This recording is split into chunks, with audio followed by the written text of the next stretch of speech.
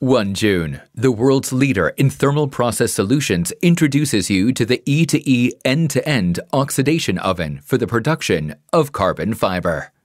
The oxidation process is considered to be one of the most important steps in the production of carbon fiber.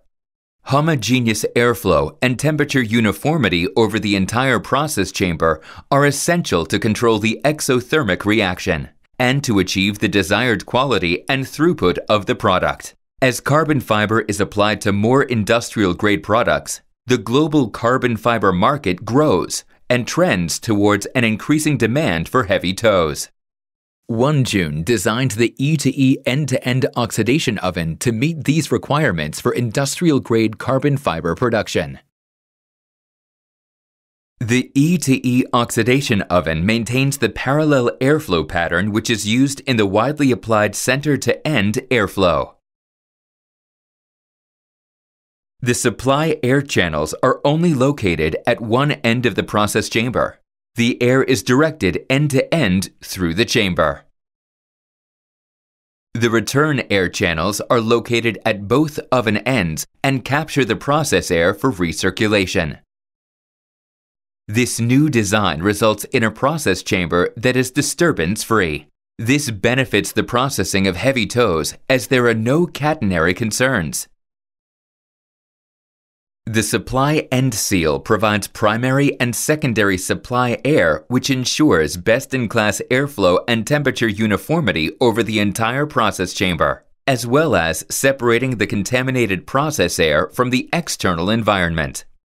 The structure consists of the supply air channel, a diverter plate, and the return air channel.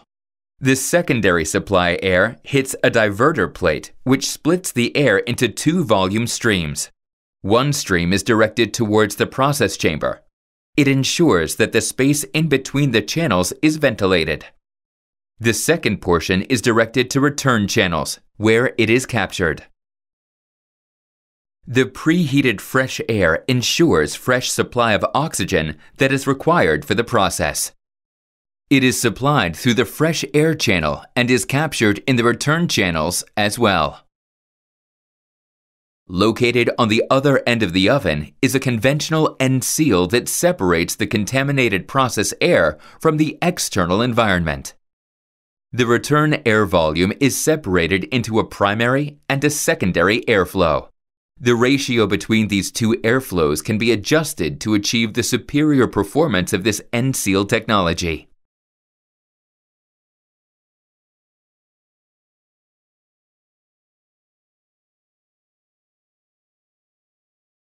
Electric heaters can be used as the primary heat source as well as gas-fired heat exchangers. A hybrid heat system allows you to benefit from accelerated heat up times, as well as the lowest prices available for natural gas or electric power. Both heat sources can be incorporated on a small footprint. Filters are located upstream of the heating sources and can be removed for cleaning during operation.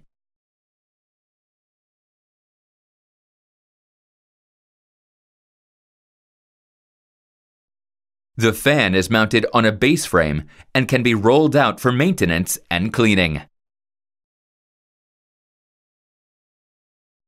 Multiple access doors are located in the oven walls to ensure optimal access to all areas of the oven. Hinged doors on the operator side of the oven allow for easy access for maintenance and cleaning. Once opened, they reveal access to the removable screens on the supply and return channels. The screens can be removed and cleaned without interfering with the tow band inside the process chamber and contribute to maximizing production uptime. The E2E oxidation oven is the next generation technology that contributes to market requirements such as maximized reliability, reduced time for maintenance and cleaning, as well as reduced energy costs and a lower capital investment while maintaining established performance parameters.